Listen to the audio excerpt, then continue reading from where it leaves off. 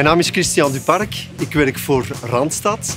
En Randstad is genomineerd voor de Elephant Award, omdat wij heel het project hebben opgezet via Welkom voor de Jongeren. Een van de projecten die Portilog in samenwerking met Randstad heeft georganiseerd is de opleiding Shipping en Logistics. Dat is een uh, tiendaagse opleiding waarin dat wij jongeren ondersteunen en klaarstomen voor een eerste job op de arbeidsmarkt. En die was heel succesvol, want ik mag zeggen dat de meeste jongeren meteen aan de slag zijn kunnen gaan in de logistieke sector.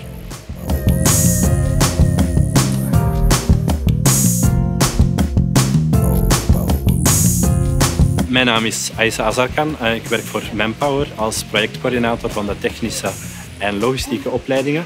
Vandaag zijn we hier omdat wij genomineerd zijn voor de Welcome Award. Manpower gelooft sterk en investeert sterk in opleidingen.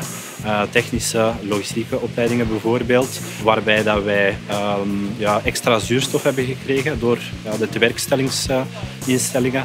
we hebben door uh, Welkom uh, een aantal jongeren in traject kunnen begeleiden om hun competenties te versterken en ook nodige competenties aan te leren, zodoende dat zij um, ja, zich kunnen ontplooien in een tewerkstelling nadien.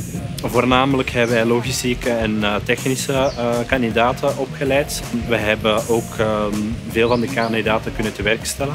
Uh, wij mikken op een 70 à 80 procent tewerkstelling. Uiteindelijk doen we het daarvoor. Wat ik heb geleerd uit het project is dat wanneer dat wij bepaalde doelgroepen, zoals in dit geval jongeren onder de 26 jaar, een duw in de rug kunnen geven, dat we echt wel succesverhalen kunnen schrijven.